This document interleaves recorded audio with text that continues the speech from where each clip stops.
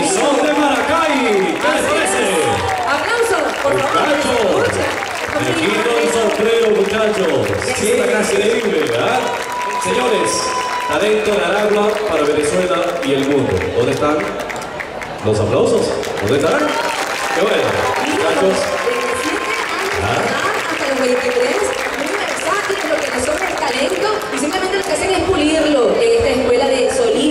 Está a cargo justamente de la señora Mayoris Guerrero. Así que estos niños merecen, no digo el aplauso, ponernos de pie, porque ellos van a ser quizás quienes nos representen en un futuro fuera de nuestras fronteras.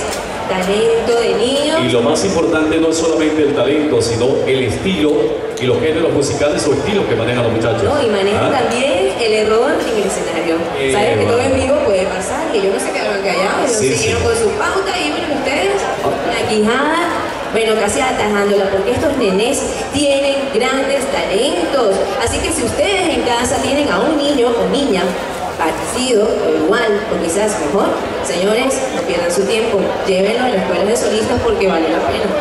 Vamos a llamar a la profesora Mayoris. Por favor, al escenario la señora Marjolis Guerrero, Mayoris Guerrero. para hacer la entrega de la Ella es la, artífice de este talento, señores. Galardón Mara Internacional 2010, Escuela de Solistas, por su gran aporte que desarrolla cultura y el talento en el Estado Aragua.